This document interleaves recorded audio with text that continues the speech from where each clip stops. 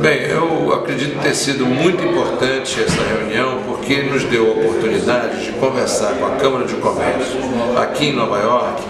de todo o cenário do setor elétrico no Brasil, as oportunidades de investimento, seja nos leilões de transmissão, seja nos leilões de geração, bem como no leilão das nossas usinas hidrelétricas não renovadas, que acontecerá agora no dia 6 de novembro. Ao mesmo tempo, eh, nos deu a oportunidade para conversarmos com os especialistas de bancos aqui em Nova York, bancos inclusive como o Banco do Brasil e Bradesco,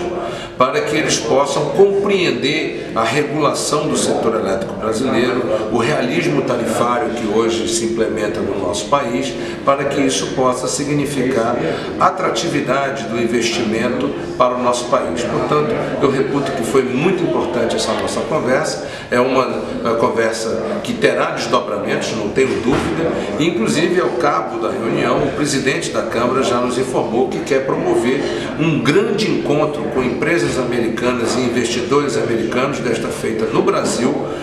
inclusive com empresários brasileiros presentes, para que nós possamos debater essas oportunidades no setor elétrico.